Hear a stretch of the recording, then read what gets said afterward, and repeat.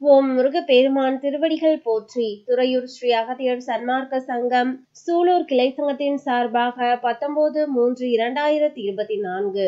சூலூர் காங்கேயம் பாளையம் மற்றும் காரணம்பேட்டை பகுதியில் தேங்காய் சாதம் சுமார் முன்னூற்றி எண்பது நபர்களுக்கு வழங்கப்பட்டது.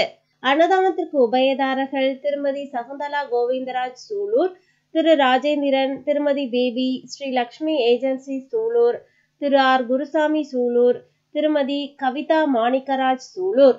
இவர்கள் குடும்பத்தினர்கள் அனைவரும் நலமுடனும் வளமுடனும் வாழ வேண்டுமாய் ஓங்காரக்குடி லாசானின் திருவடியை பணிந்து பூஜித்து வேண்டிக் கொள்கிறோம். நன்றி வணக்கம்.